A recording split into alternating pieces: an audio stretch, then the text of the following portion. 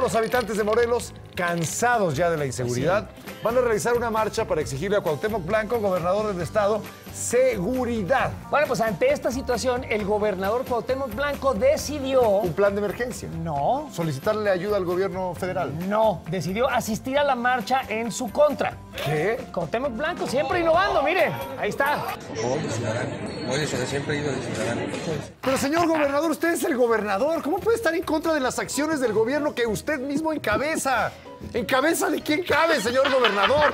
Tenemos Así entrevista, ¿no? Vamos directamente con Cuauhtémoc Blanco. Qué mal me quedó Ponte- la joroba, ponte por así de cierto. perfil ya para que parezca más. Oye, esto va a sonar feo, ¿me la metes tantito?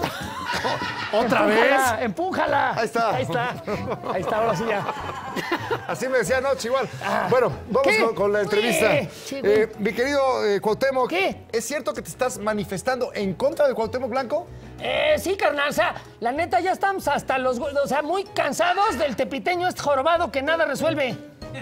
Oye, pero tú eres eh, Cuauhtémoc Blanco, ¿no? No, pues ya ni me digas, o sea, el nombre del desgraciado, eso no lo quiero ni oír, nomás porque se anduvo dando la Galilea bien sabroso, sí lo madre como al Faitelson. Ah, oiga, pero ¿no le parece esto una franca burla a la ciudadanía? ¡Nel! ¿Burla? Eh, burla cuando me hice pipí de perrito en la portería acá. Eso sí fue burla.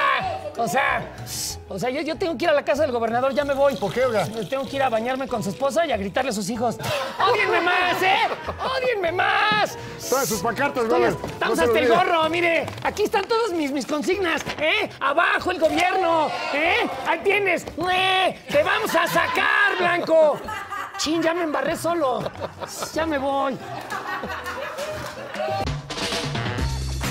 ¿Qué importa? Lunes a viernes, 11:15 pm. Participa en Imagen Televisión.